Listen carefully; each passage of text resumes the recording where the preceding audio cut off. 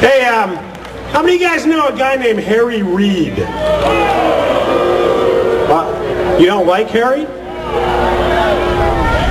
And there's millions and millions of dollars being dumped behind Harry Reid so he can go to Senate and do things that we don't want him to do. But this next person had the guts, the guts to go up against him, and she knocked him pretty heavy.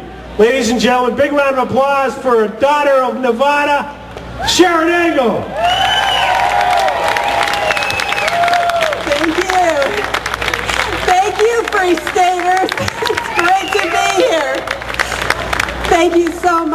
That's why I came all the way from Nevada because many of you walked up to me today and said, I sent you money.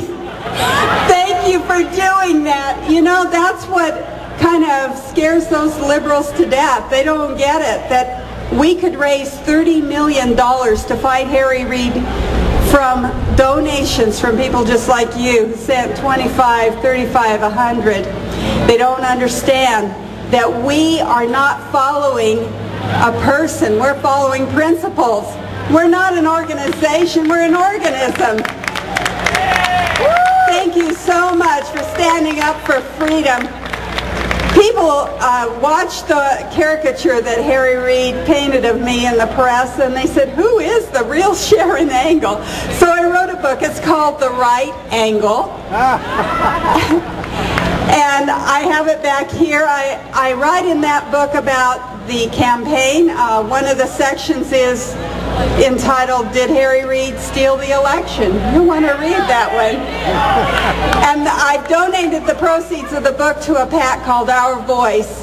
We're going to put all of that money toward elections here in the United States. Four Senate seats. We're going to change them from blue to red and remove Harry Reid from the Senate leadership. Mission, of course, is to make sure that our vote counts. That is our voice, and we want to have secure elections across the land. Well, I, I want to tell you that that caricature is a little bit warped. I'm a person who grew up in Reno, Nevada in my dad's small business. Oh, I cleaned toilets, made beds, those kinds of things in this motel that my mother and dad owned. I went to college there in Reno and I got my degree in liberal arts. I'm an oil painter. That drives them crazy too. I changed my major to education when my husband and I married and we knew we were going to be living in rural Nevada.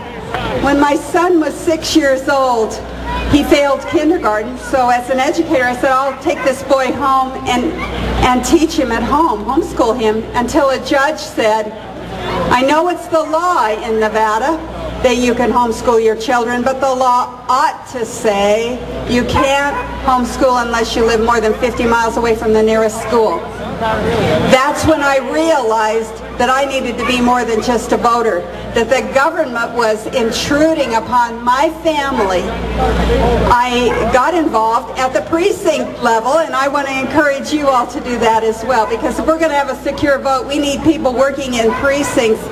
We had a, an occasion to call in during the election, and one of my callers just said, may I speak to Darlene? The lady said, why do you want to speak to Darlene?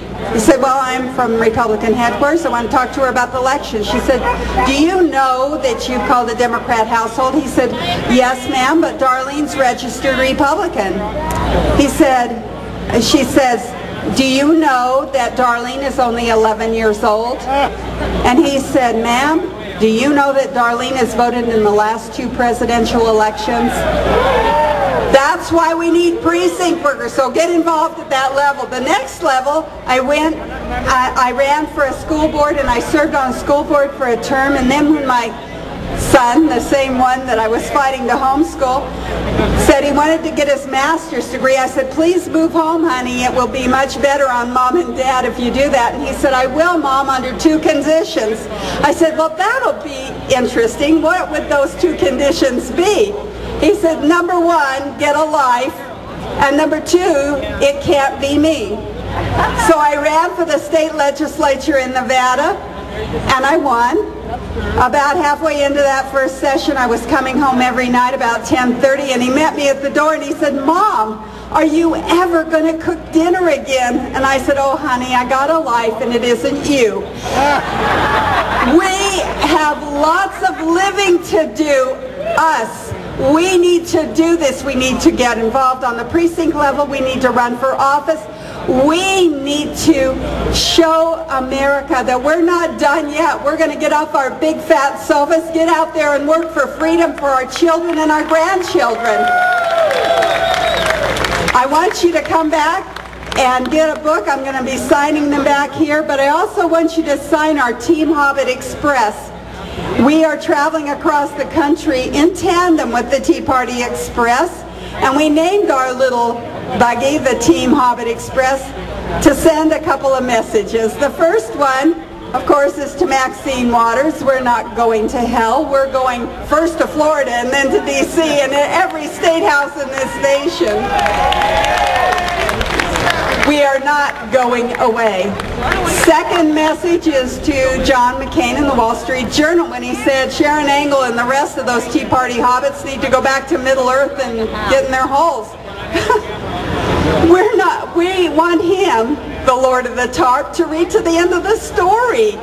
If he did, he would realize that the hobbits are the heroes and we win in the end. We're going all the way in 2012. Thank you so much for being here. Live free or die. Thank you so much.